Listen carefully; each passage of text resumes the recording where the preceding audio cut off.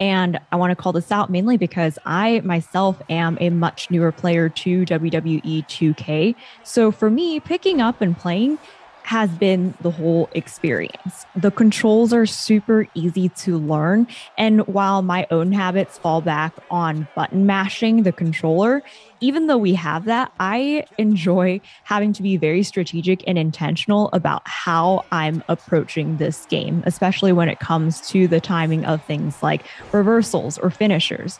So I can definitely attest to hey, if you're feeling intimidated by this, please don't pick it up, try it out. You'll have such a blast.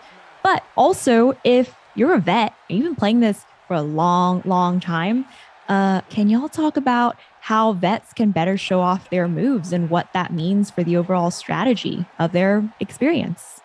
So, a lot of the strategy for our game comes with the new defensive options that we've added this year.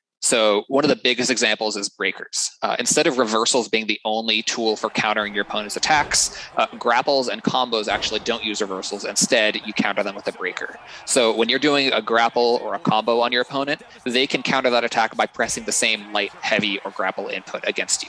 So those moves are countered with breakers. Everything else is countered with a reversal. So knowing what kind of attack you expect your opponent to perform can already prime you to know how you want to counter it. So there's already a mind game with that level. Then you have blocking, which is all new. Uh, if you hold down the reversal button, you enter a blocking stance, and that lets you withstand light, heavy, and running attacks. Uh, and then you can counterattack faster than your opponent can after blocking. Uh, you can also dodge with the right bumper. So you can kind of choose a direction and get out of the way really quickly if you time your dodge correctly, but it's higher risk than a block.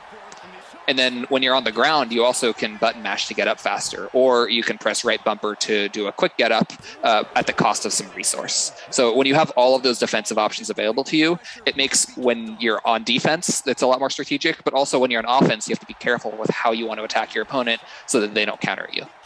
So our community has been speculating about the HUD and like guessing like what you know these little glowing meters